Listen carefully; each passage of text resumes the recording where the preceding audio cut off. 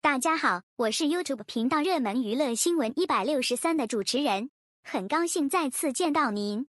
订阅频道，这样您就不会错过当天最热门的新闻。这是今天的新闻：百里弘毅的叛逆、耿直、照见现实，像极了王一博本人。话不多说，直奔主题了。这次王一博的热度，恐怕要被百里弘毅给夺走了。风起洛阳开播，小百里一上线。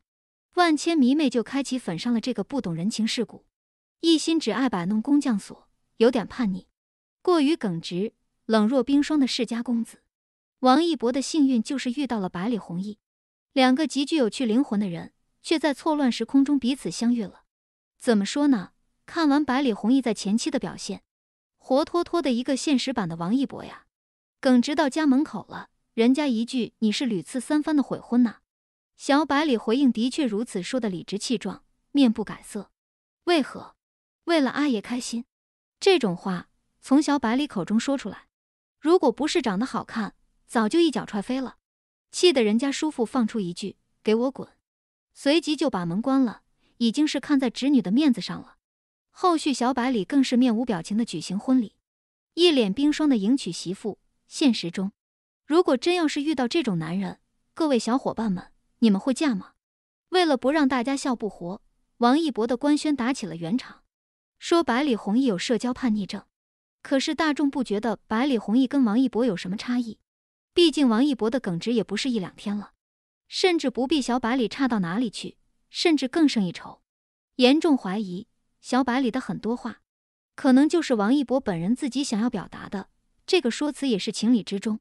最为惊喜的很多桥段中。我们都感受到小百里这个角色，感觉是拿到了整部剧团宠。虽然是被逼婚，各种的不情愿，但是大婚之日的遭遇却足够让人心生怜悯。剧中小百里的夫人柳七娘足足大了百里弘毅七八岁呢，等他都到了二十九了，错过了婚嫁之年。不过这个故事线却吊足了大众的胃口，都想看一个冷若冰霜的男人是如何先婚后爱的，又是怎么恋爱的。梦女看的不是剧，完全就是故事啊！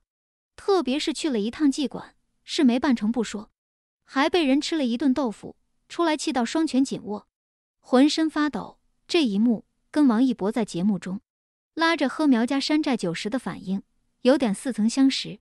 从整部剧的开始，百里弘毅就满脸写着叛逆二字，不愿将就，不愿敷衍趋势，不愿婚嫁，不愿做违心之事。可惜一切的变故发生后，他的叛逆也随之改变，执着于去彻查阿爷被害的真凶。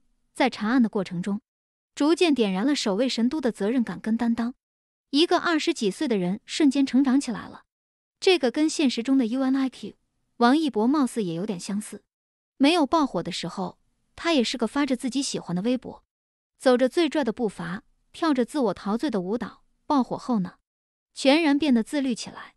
更加重了事业心，走在主流的道路上，用实际行动把流量人气转化为正向输出。话说回来，小百里的热度到底有多高？显然已经超过了 UNIQ。王一博开播后，整个爱奇艺的讨论度十五小时就达到了八千五百。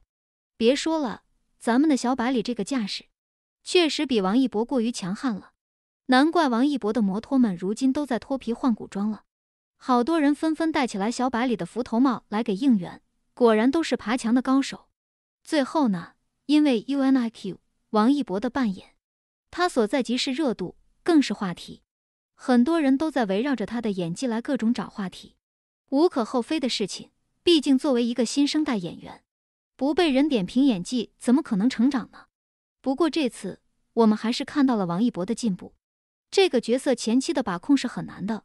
不通人情世故，冷若冰霜本就是一个技术工科，要让他演出层次感，的确需要一定的挑战。纵观王一博的整体表现，可圈可点的地方还是不少。哪怕是对脸拍这么多的近景，我们都能够感受到他的表现不拉垮。对此，你如何看待？客观理性评价哦。